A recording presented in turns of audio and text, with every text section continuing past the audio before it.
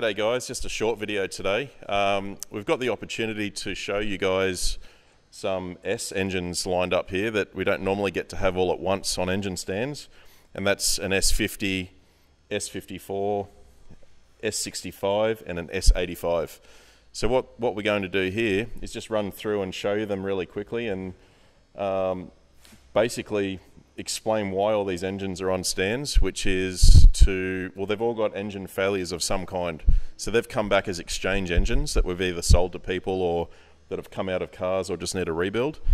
Um, we've had fairly woolly explanations as to what's wrong with each of them. So we have to assess them ourselves first and start to put a procedure together to find what's caused the failure, repair them, and put them back to work. So Tony, with, with doing that, with tearing down an engine or trying to find what's wrong without the right information, what's a real general few tests we can do, or how would you go about it? Well, obviously, just do a visual on the outside to start with as it comes in. Make sure there's no holes in the block or anywhere that shouldn't be there, obviously, or the sump. Um, have a look at the oil if there's any remnant oil in there. Maybe there's some contamination from coolant uh, in there, something like that. Maybe you might see some metal particles. That'll give you a hint.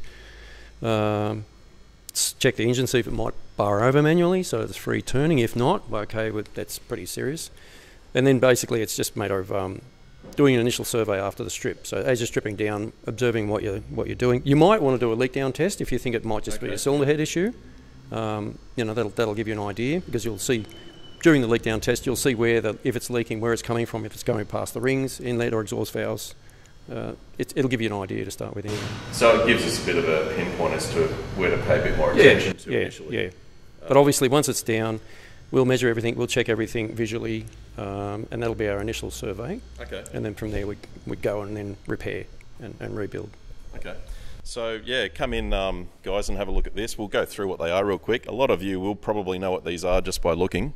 First one we've got here is from an early 90s E36 M3. This is an S50 B30. This is the Euro engine.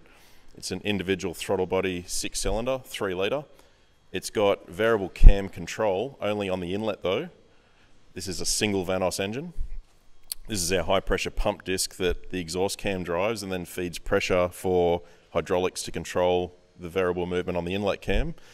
It's a cast iron block alloy head uh, which was pretty well the start of the serious six cylinder engines that BMW produced, other than the older S38s, they were really good as well. Um, that's a quite a tired engine, that one. That just needs a full teardown and, and going over. We know nothing about it. This is a, the next one we've got here is out of an E46 M3. This is the, the famous S54 B32. This is a 3.2 litre 6. Again, it has individual throttle body set up here with uh, dual cam control, variable cam timing control on exhaust and inlet. Uh, this engine's out of a, a, race purpose car. It's a good friend of ours. His son uh, races this car, and he's managed to, we think, upset the top end, bottom end at once. So he drives it hard, and that's probably why he's so competitive. So that'll be an exciting one to pull apart. It's got a few problems to find. Uh, and then over to one of our favourite engines, which is the S65 4 litre V8. This is a quad cam engine out of the E9X, E90, E92, E93, M3. This thing revs quite high up into the early 8000s and for a naturally aspirated small capacity engine it gives the 6 litre LS engines a good hurry up. Um, so quite an interesting one and definitely one of our favourites. And lastly up the end here we've got the S85 B50. This is a 5 litre V10 Again, individual throttle bodies on the top, five on each bank. Uh, good comparison to the Audi or Lamborghini 5.2 litre V10. This thing makes about 30% more than that engine um, naturally aspirated, and it's only a five litre. It's this is a very impressive engine, and this thing revs to 8,400 standard. So, I think from memory, uh, this won engine awards. I think from two years running. I can't remember. I know it did win like Engine of the Year award uh, uh, when it came out. The design and the you know the, the structure of this engine. It was yeah. it was a winner. I think you're right there. And this is a, this is a 2004 model engine. So this this has been around for a while. It only lasted I think uh, five years in their production cars, five or six years, but way ahead of its time for when it came out. So what we're going to do as well with all these engines, interestingly, is we're going to weigh them all. So they're all long motors, they're all undressed. We're going to weigh them all, and the reason we're going to do that is because all the chassis that these engines came out of, we're going to, or we have done, is we've put LS engines into these chassis. So if you look over here to my right, this is an LS3. It's a cammed, rebuilt LS3, and it's going into a customer's E30. So it's very similar to the, the engine that Tony recently put a cam in for uh, the guys at Mighty Car Mods and went into their E30. So we're expecting a very similar result of about 330 kilowatts at the wheels.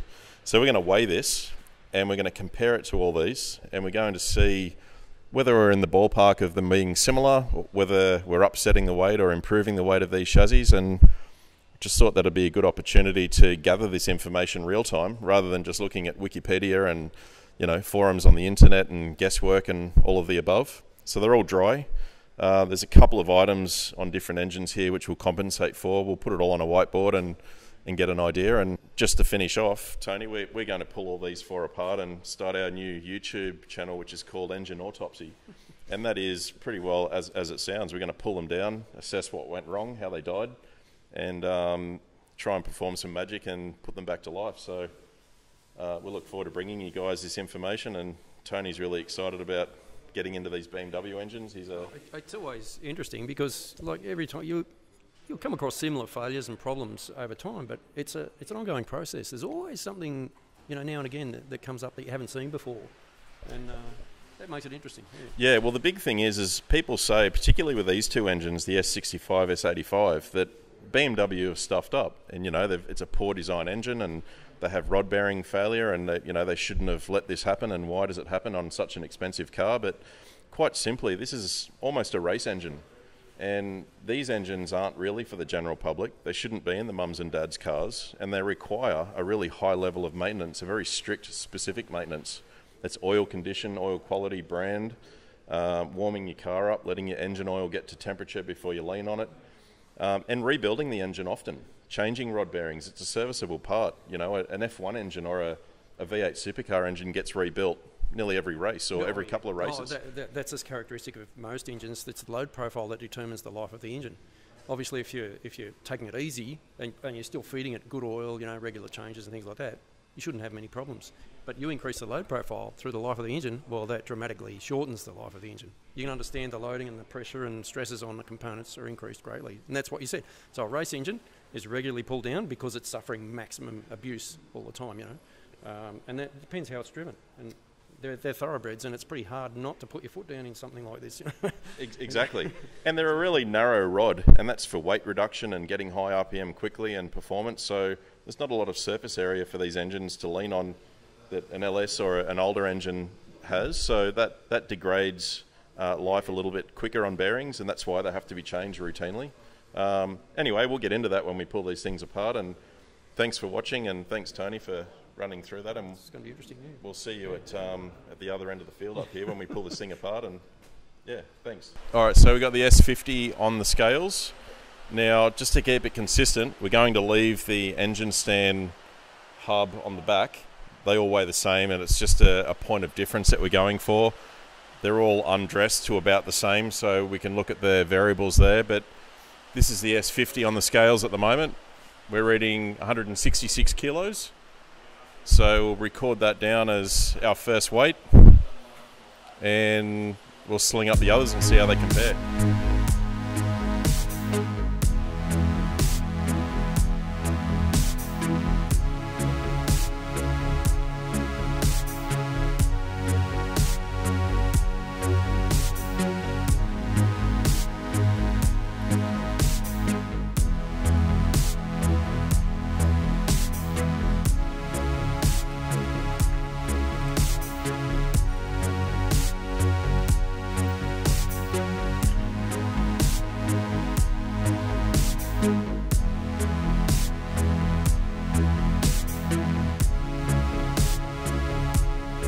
S50 on the scales. This is the E46 M3 engine, sorry, S54 that is. Um, if we have a look up here, 160 kilos. Surprisingly lighter than the S50 at this point. Dressed exactly the same. We've got the same engine stand hub on the back, so we'll record that one.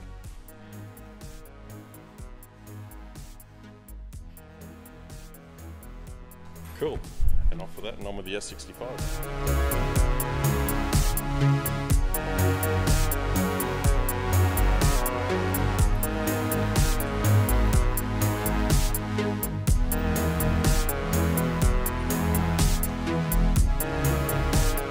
Okay, so S65 is on, and this one I believe is undressed about the same as the others. Yes, no rotating parts on there, and we're at 175 kilos. We'll call that 175. So surprisingly, so far only nine kilos heavier than an S50, and 14, 15 kilos heavier than an S54. It's quite interesting.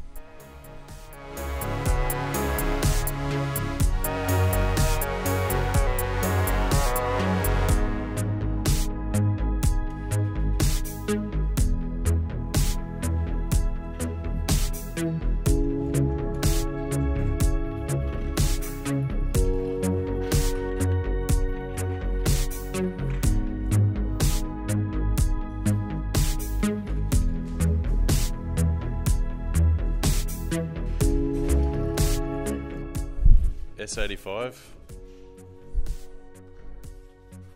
188 kilos.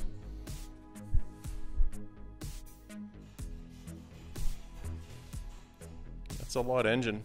That's pretty light for a V10 for what you get. It's a 500 horsepower engine that weighs 188 kilos. Not bad.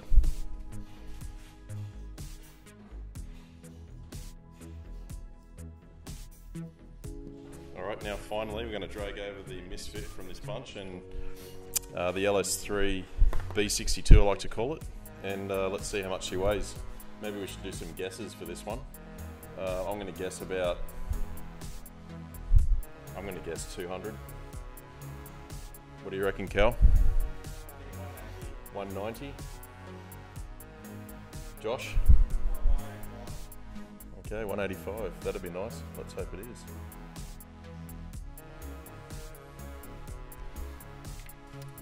Alright, let's get it on and see what it does.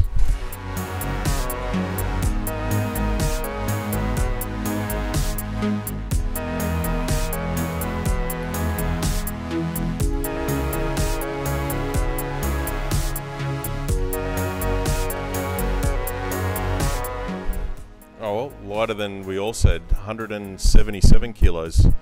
That's pretty good. I know these are undressed, but as I said, we're doing like for like. So 177 kilos.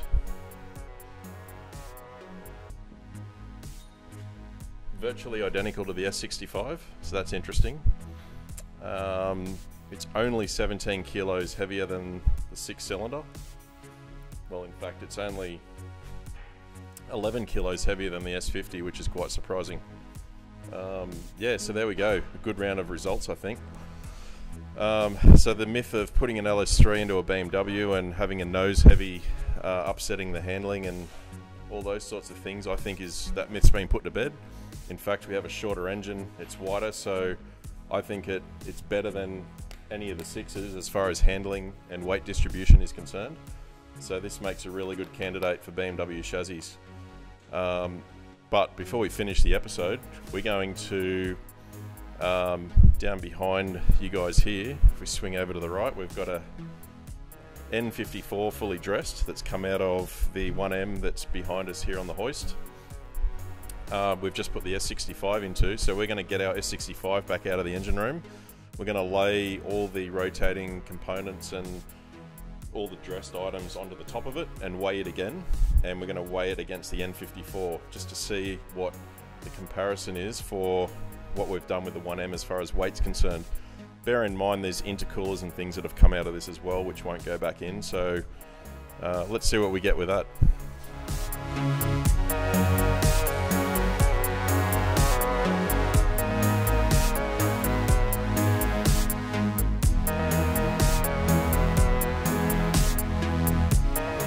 Okay, so here's our fully dressed N54, which has got the turbos, loom, all the rotating parts on there as it came out of the car. So this is 191 kilos, 192, 193 kilos. which is a little bit lighter than I expected actually. So that's that's not too bad. So we'll record that and then we'll throw the S65 back on and we'll throw all the dress components I've got on the ground there ready. So we've got headers, intake, power steering, alternator, starter motor, wiring harness. It'll all go on and we'll weigh it and see how they compare.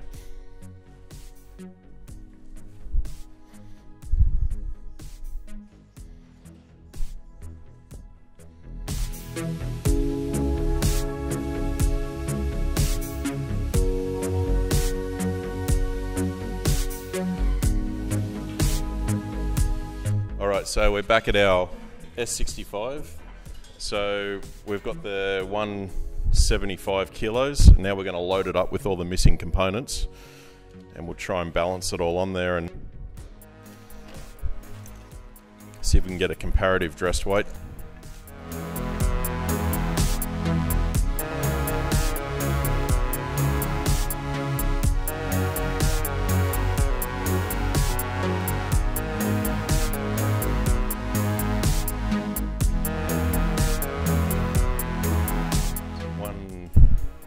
One bank weighs. So 188.3. Next set of headers, 190.8. So it's like one and a half kilos per bank on the headers. That's really impressive. And we'll throw the inlet manifold on for the grand final number.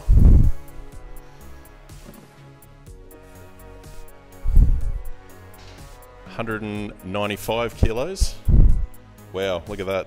So about about two kilos heavier than an N54. I think that's um, I think we call that the same. So there we go, a fully dressed S65 versus a fully dressed N54. I'm calling that the same.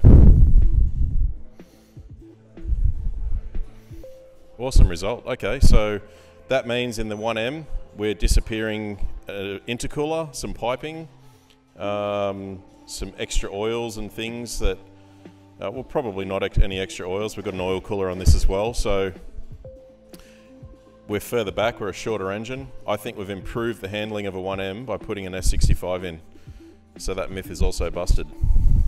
Cool. Thanks for watching, guys, and hopefully this data has um, helped given you a little bit of insight into your conversion that you're thinking of doing, and a good range of engines here. So we'll just get that on screen, and you guys can mull over that for a little while and hopefully that helps. Thanks for watching and tune in for some more engine work coming on our new channel, Engine Autopsy. Cheers.